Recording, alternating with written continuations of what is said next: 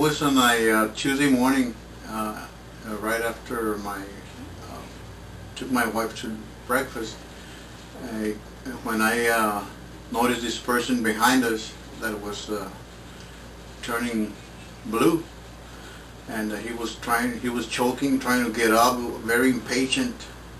So I stood up. Everybody was just looking at the gentleman, and he was very anxious, very impatient.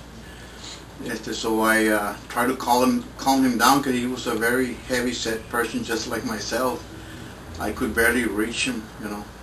I barely get my, my, my fingers locked so I can perform that uh, Heimlich. And uh, finally I called, calmed him down, and when I did, I just performed it three or four times, and the foot came out, started breathing again um, sat down and uh, he was very uh, uh, happy that uh, you know he was breathing again because he was he was turning like I said blue or gray, a very odd color, and uh, so we just sat him down and he was resting. He was mostly uh, you know kind of sad what had happened, but everything turned out fine, and it was it was it was an experience of my lifetime, you know. Uh, even though I did get uh, training for it, we never expected you know, that, that it would happen. We were, where I used to work, they, we used to have a, they, we, we, we need to get certified for it. So it, it uh, came handy for us. And, uh, Do you feel like a hero? No.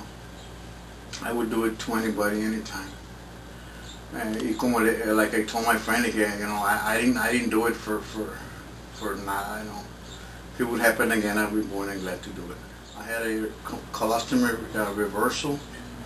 Uh, I shouldn't be doing, you know, this stuff, but you know, when it comes to it, you know, you don't think, you just act, and uh, that's what happened. You know, I, they, my wife was saying that the the uh, server was panicking. I never heard her, and I never heard anything. It was just, I was just blank. I was just concentrating on the gentleman that was poor guy, man. He, it wasn't, you know, that, it, it wasn't not, like I said, I just, you know, went, uh, finished and we just walked out. Como nada, you know. I'd do it again in a split second.